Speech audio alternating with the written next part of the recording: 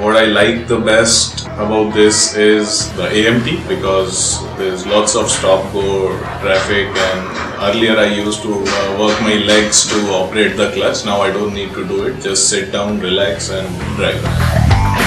Mumbai today is in a really uh, bad shape at peak hours, but you know when I'm driving this this auto shift in, in this conditions, it's really helping me because I am at ease, I've relaxed. Uh, when I go home, I have some energy left today when I'm driving TUV 300.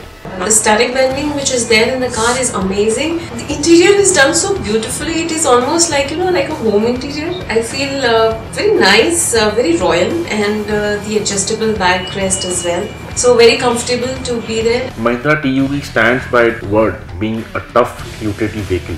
Once you drive the car on the road and off the road, other cars seem to look like pygmies in front of you. You actually feel the king of the road. It's giving me a mileage of around 14, which is not bad at all. None of the automatic diesel, such big vehicles will give you that average. So this is one bonus that I'm getting with the vehicle. The feature AMT uh, TUV has provided, I don't think any of the competitor cars are, have, have provided that feature in that segment.